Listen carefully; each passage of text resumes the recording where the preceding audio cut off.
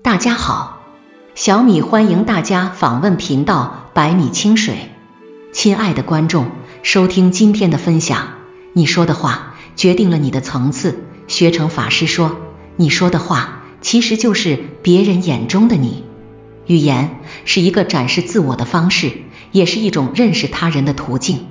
人与人之间相处，通过判断嘴上说的话，就可以看出一个人内心是否成熟，思维逻辑是否缜密，甚至还能对一个人的修养、人品有所了解。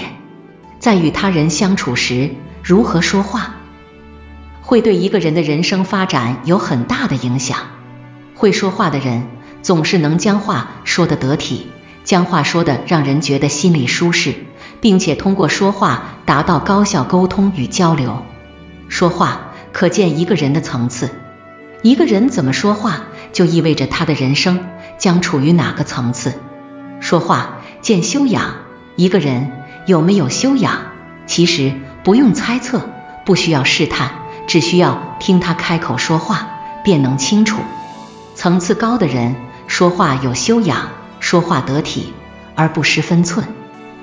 相反，层次低的人说话总是容易重伤他人的自尊心，总是会炫耀自己，说话没有修养，让人觉得他内心空洞而无趣。《红楼梦》中，贾宝玉和薛蟠坐在一起吃饭时，席间为了增加更多的趣味，大家决定吟诗作对。贾宝玉所作的诗，可以见其才情，温文尔雅，一看就是名门世家出来的贵公子。而薛蟠和他形成了鲜明的对比，不仅文墨不通，而且说话粗俗，让人都不想听下去。他一开口，大家便知道他是一个没有内涵的人，空有万贯家财，却没有一点风度与内涵。层次高的人说话时注重礼仪，注重场合，与他人不随意开没有分寸感的玩笑，不随意做没有界限感的事。并且态度亲切，不骄不躁，所说的话能拉近彼此之间的关系，惹人喜爱。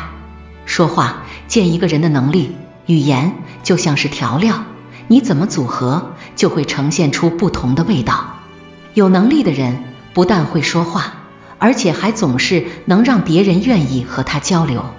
生活中，我们经常见到有些人与别人交流时，十分不善于交流。常常问什么就答什么，从不多说一句话。那是因为他们的表达能力低，内心对自我不自信，害怕说错话引得他人不悦。而能力强的人，总是能根据别人说的话拓展自己的想法，并且在这个基础上抛出让对方感兴趣的新话题，可以让两个人的交谈继续下去。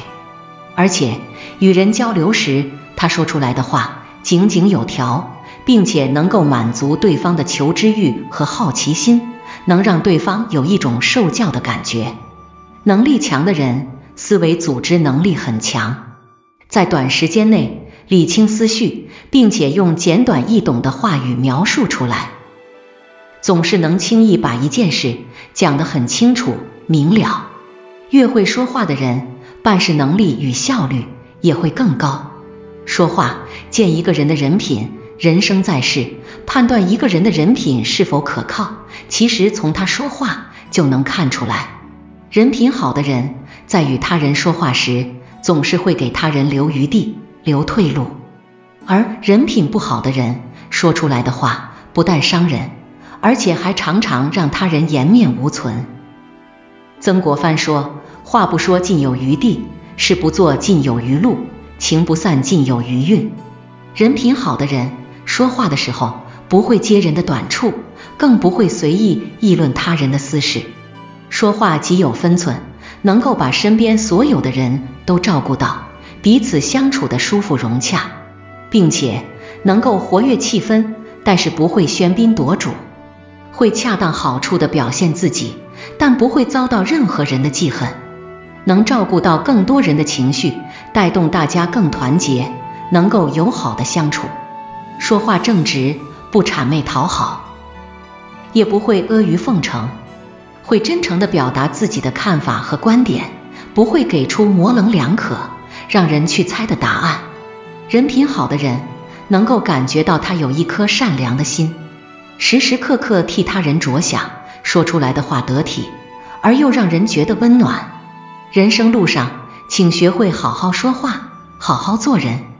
在与人交流时，保持自我的修养，做一个懂礼貌、说话会分场合。不会打扰到其他人的人，不管与谁相处，都会保持一定的礼节，面带微笑，给予他人最大的尊重，不会妄加指责、评判他人，更不会随意的伤害别人的自尊心，懂得用话语去温暖他人，而不是把语言当成武器，总是带给他人伤害。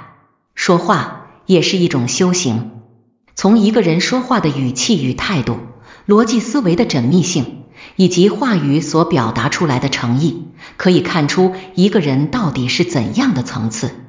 好好说话，不要因为语言上的问题给别人留下不好的印象。人生路上，你好好说话，人缘就会越来越好，机遇就会越来越多。